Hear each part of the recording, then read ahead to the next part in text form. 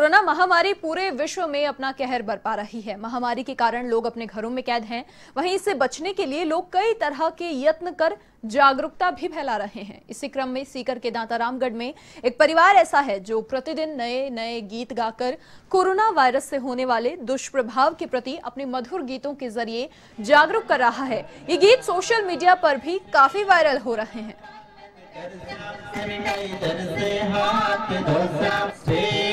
होमरो पालन करसा सैनिटाइजर से हाथ धोसा।